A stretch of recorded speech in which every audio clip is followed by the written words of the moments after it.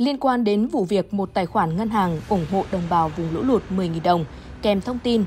giáp xiếc Trung ương ủng hộ. Chiều ngày 13 tháng 9, Phòng An ninh Chính trị Nội bộ Công an thành phố Hà Nội đã xác minh và mời một nam thanh niên 21 tuổi, hiện là sinh viên một trường đại học tại Hà Nội đến làm việc để làm rõ hành vi liên quan sự việc nêu trên.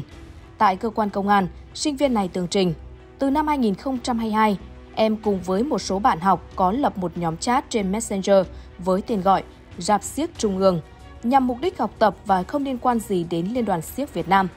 Khi có thông báo ủng hộ đồng bào bị thiệt hại do cơn bão số 3, em đã tự chuyển khoản ủng hộ 10.000 đồng với nội dung tập thể anh em Rạp xiếc Trung ương ủng hộ, nhưng không thông báo trao đổi với các thành viên nhóm.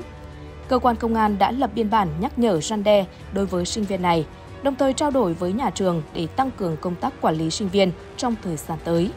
Còn theo ông Trần Mạnh Cường, Phó Giám đốc Liên đoàn Siếc Việt Nam, trước khi làm việc với cơ quan công an vào trưa ngày 13 tháng 9, người chuyển khoản đến Ủy ban Trung ương Mặt trận Tổ quốc Việt Nam ủng hộ đồng bào bị thiệt hại bởi bão số 3 số tiền 10.000 đồng với nội dung tập thể anh em Rạp Siếc Trung ương ủng hộ cũng đã đến Liên đoàn Siếc Việt Nam và xin lỗi vì hành vi của mình. Tuy nhiên, người này không có ý mạo danh Liên đoàn Siếc Việt Nam.